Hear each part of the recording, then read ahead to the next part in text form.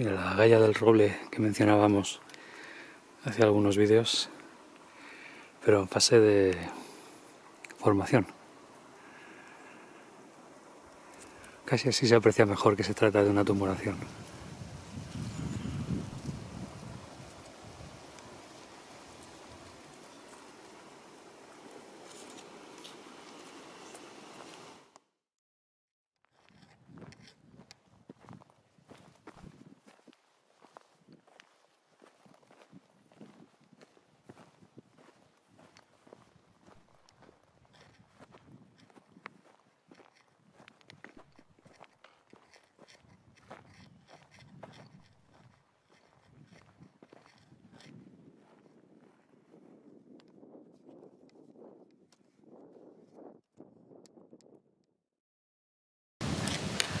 Pues me he parado a comer a la sombra de este precioso roble. Hace fresquete. Pero aquí se está de gloria. Esta lomita es una especie de collado con vistas a, hacia, hacia el sur, hacia, hacia Mérida. Espera que suena un bicho por ahí.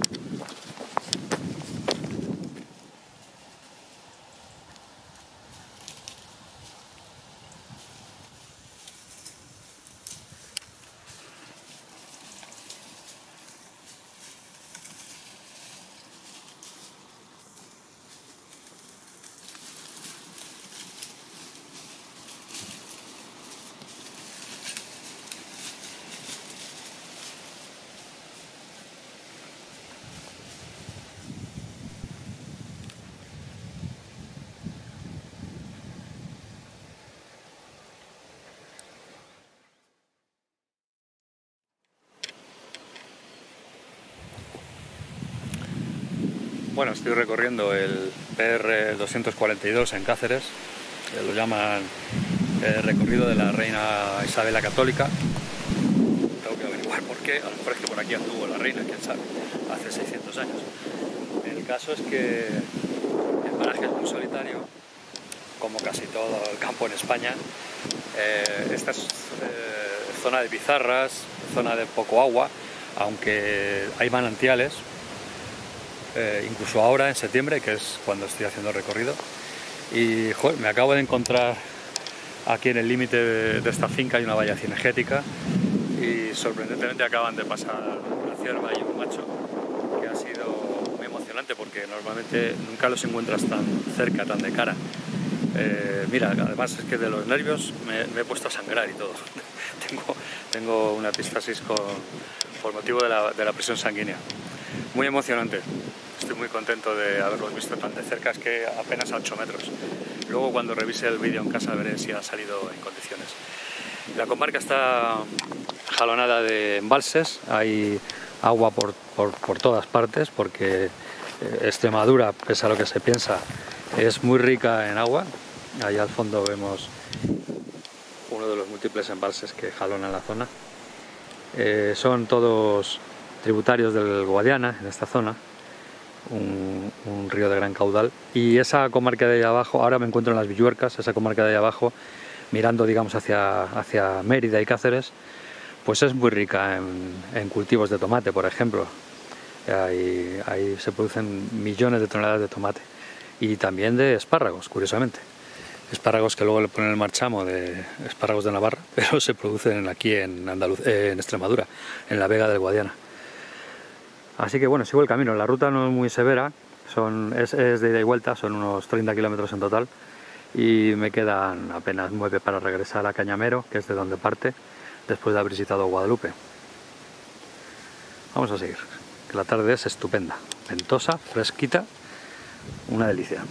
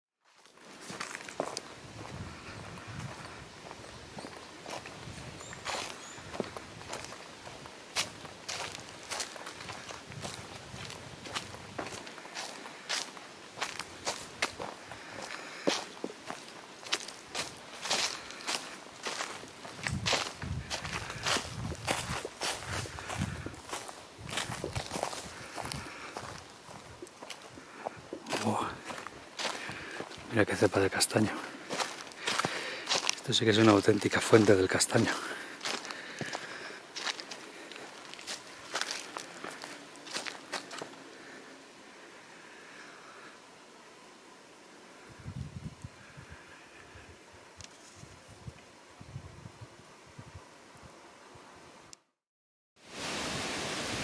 Creo que nunca había visto un rascadero tan finito.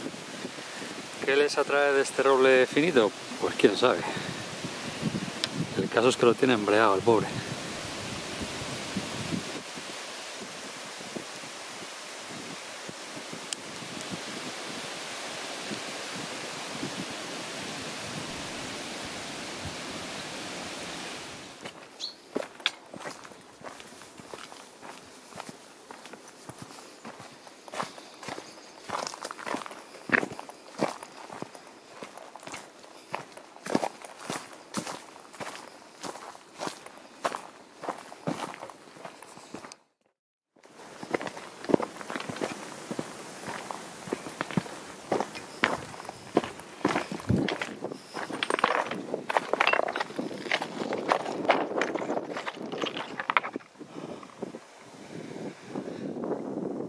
Pedrera de cascajos, cuarcitas duras, duras, duras. Al fondo ya se vislumbra el embalse del cancho del fresno. Mira, hasta tengo cobertura, que suenan ya ruiditos de móvil.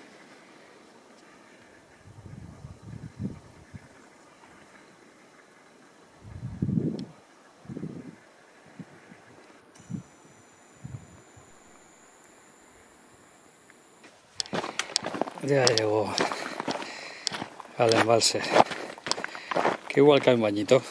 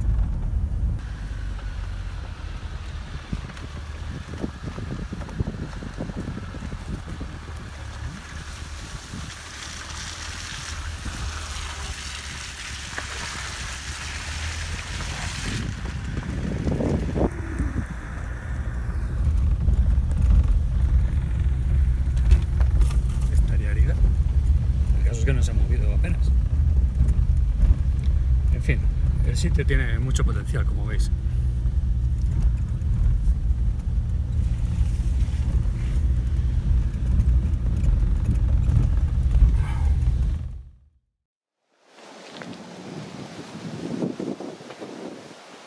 Bueno, la cuestión es que ayer por la tarde de repente cambió el tiempo, ha estado lloviendo casi toda la noche, con lo cual hemos conseguido dos cosas. Primero, se ha refrescado el ambiente y los animales están más activos. Tengo confianza de que hoy en esta nueva zona voy a poder ver algunos venados y de hecho se les oye ya bramar, están, están muy activos, están muy excitados y con el frescor pues revivificados. Así que a ver qué tal será la jornada. Por cierto, estoy grabando en malas condiciones porque hace mucho viento y estoy probando con un truco porque no, no me he traído esto que llaman el gato muerto, esta, esta borra peluda que se pone en el micrófono de la cámara para amortiguar el ruido del viento. En su lugar estoy usando una mascarilla. Es un pequeño truco que podemos comprobar grabando con ella puesta y ahora la voy a quitar a ver si se nota si se nota de alguna manera la si se nota la, la amortiguación del ruido del viento con la mascarilla puesta por encima del micrófono de la cámara. Luego en la edición lo comprobaremos. Buen día.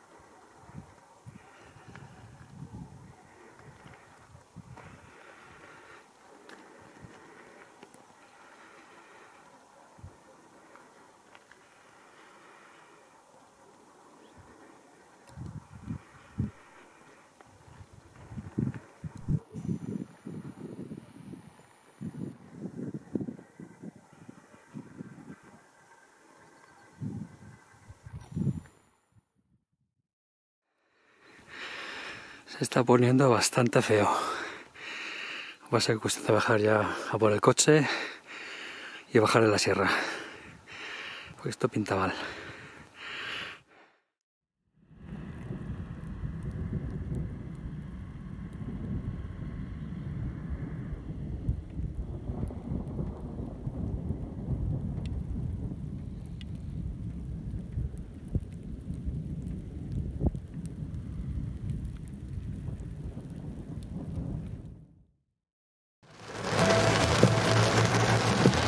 Definitivamente está cambiando el tiempo